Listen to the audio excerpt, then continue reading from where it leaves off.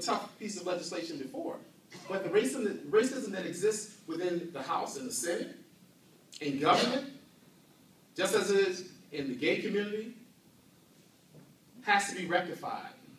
And therefore, this perception of wealthy white folk coming trying to dictate to members, that stuff doesn't work. You, can, you ain't bullying us.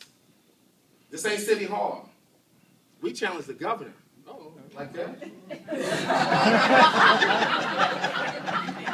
Get it. So here's, here's the takeaway here.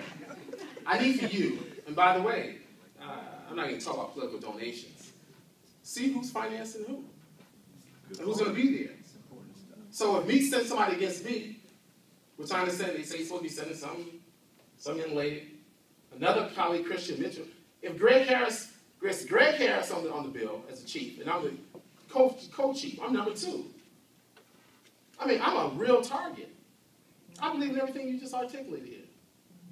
You all need to muscle up if you don't have the purse. You don't need money. You know, so many rich people, from Mitt Romney to Blair Hull, they want to be in top office. Money does not determine the election, per se, mostly.